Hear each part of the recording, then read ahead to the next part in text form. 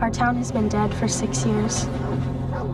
At first, we blamed the closing of the mine, but something bad had come to destroying our town even more. So you believe it too? Something had come to Cold Rock that was taking the children.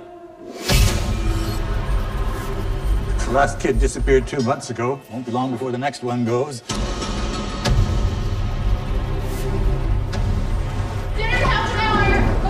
Do you have to go to work tomorrow? Yeah, Can we play together again when you get home?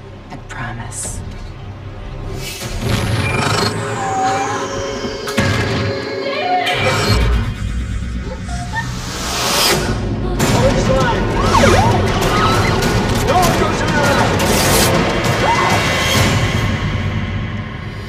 He was gone when the children were paying the price.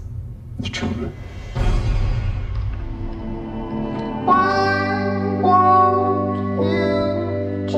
Was like an ancient legend. Something from a book of fairy tales or an old song.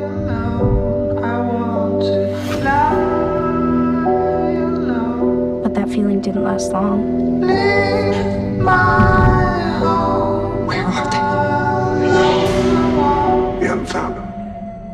Not him, not the others.